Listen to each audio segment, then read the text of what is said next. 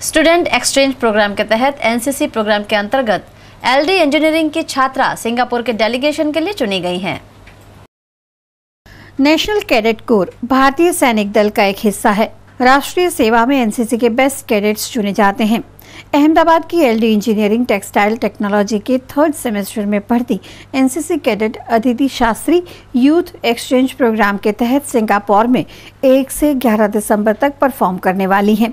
वहाँ पर सांस्कृतिक कार्यक्रम और परेड में भी वे भाग लेंगी। अदिति शास्त्री गुजरात में एकमात्र ऐसी छात्रा हैं जो इस प्रोग्राम के लिए चुनी गई हैं। वे 26 जनवरी 2012 को गणतंत्र दिन पर परेड में भी भाग ले चुकी हैं।